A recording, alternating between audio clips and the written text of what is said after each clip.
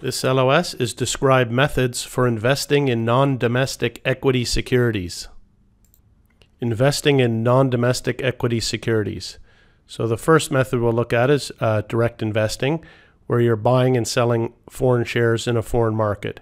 So some of the issues with regards to direct investing in non-domestic equity securities is that it's possible that the costs will be higher and it may be less liquid. There may be less transparency and there may be local language and currency issues as well. There may be local market procedures with regards to settlement and clearing. And finally, the accounting standards and market procedures are those of the local market and they may be different. A second method of investing in non domestic equity securities is through depository receipts. So, depository receipts are securities that trade like ordinary shares on a local exchange, but which represent an economic interest in a foreign company.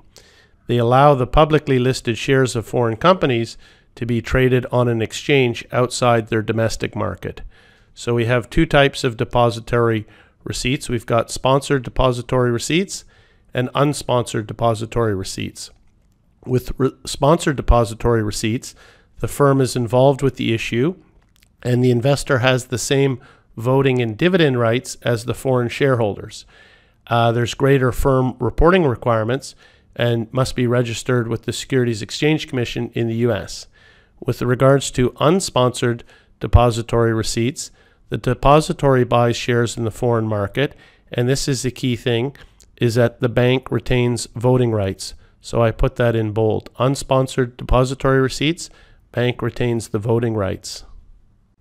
Quick little practice question to check our understanding. When investing in unsponsored depository receipts, the voting rights to the shares in the trust belong to A, the depository bank, B, the investors in the depository receipts, or C, the issuer of the shares held in the trust. Well, that should be fairly easy because we just saw it on the previous slide and I put it in bold, but it shows you the reason why I put this question in. It's that uh, there can be a lot of questions that are just on little factoids, you know, and you just have to know it. If you know it, the question is really easy. If you don't, if you've overlooked it, then you're guessing. Anyhow, A is correct. In an unsponsored depository receipt, the depository bank owns the voting rights to the shares.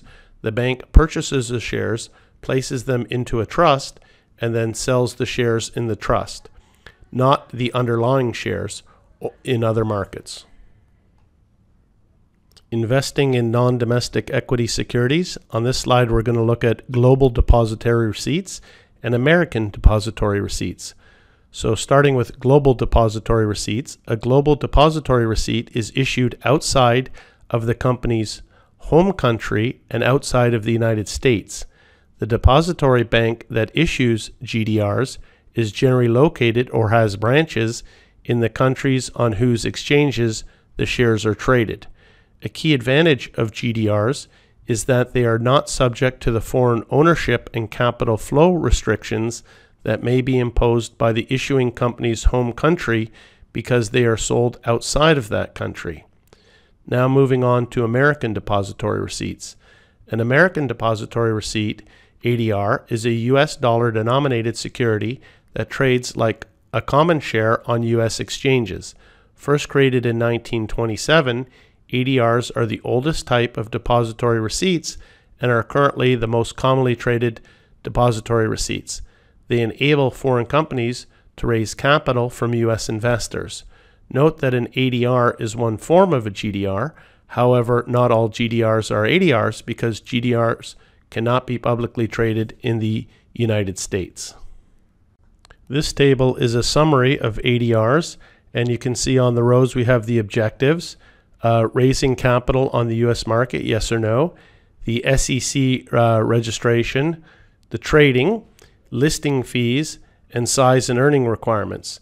And then on the columns, we have level one, which is unlisted, level two, which is listed, level three, which is listed, and Rule 144A, which is unlisted. Okay. Now, uh, this is a fair bit of nitty gritty, but there are practice questions based on some of these items in here, and that's why I've highlighted some things in bold red and bold green. Okay. So if we look at uh, level one unlisted, they uh, develop and broaden U.S. investor base with existing shares. Okay. you're not raising uh, capital on U.S. markets, there's a form called F6, and it's called uh, considered to be over the counter because it's unlisted, so it's OTC. They're not listed on exchange; it has to be over the counter. Listing fees are low when it's over the counter, and there's no uh, size and earning requirements. When we move to level two, which is listed, the objective is to develop and broaden U.S. investor base with existing shares, so it's the same objective. Are you raising capital on the U.S. markets? No. So that's also in uh, bold red. Same form, but now you are listed. So where would you be listed? New York Stock Exchange, NASDAQ, or Amex. Therefore, when you're listed, you're going to have high listing fees. And yes, there are uh, size and earnings requirement in order to be listed. So a lot of that's just common sense. So I think what you need to do is kind of memorize a little bit with regards to the columns level one, level two, level three. Okay. Level three listed, the objective is to develop and broaden U.S. investor base. Aha, with existing new shareholders. So, what does new shareholders mean? It means that I can raise capital on U.S. markets, and that's why I put that in bold and green. Yes, through public offerings. So, there's a new form involved. It's F1. And again, I am listed, so it would be the similar exchanges New York Stock Exchange, NASDAQ, or Amex. Again, you're listed, so high listing fees and uh, size and earnings requirement. So, that's the difference between level two and level three. Level two, you're not raising new capital. Level three, you are. And finally, Rule 144A, unlisted, access qualified institutional buyers. Okay, that's the private placements. There's no SEC registration, and the trading is uh, private offerings, resales, or trading through an automated portal.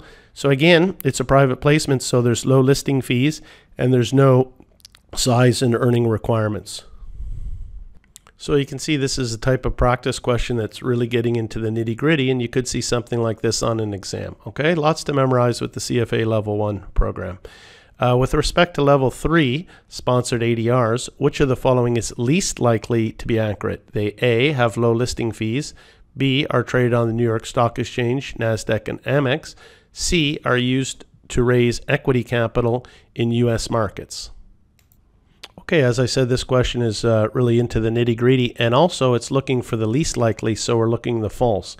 And it's looking to level three, so it's this column that we're interested in. Okay, so our trade on New York Stock Exchange, NASDAQ, that's true.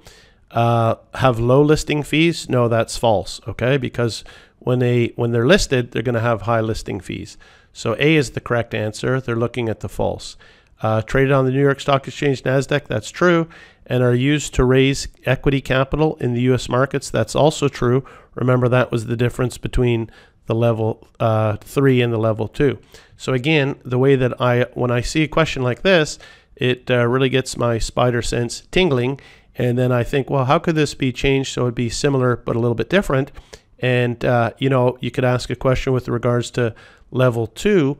And, uh, you know, is level two used to raise capital on U.S. markets, and that would be a no. You know, so it would be a, a most likely or least likely.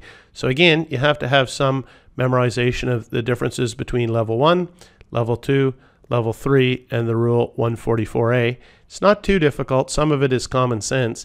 You just have to know is it listed uh, uh, or not listed, and if it is listed, uh, the difference between level two and three. Level three, you are uh, raising new capital. Level two, you are not. Okay.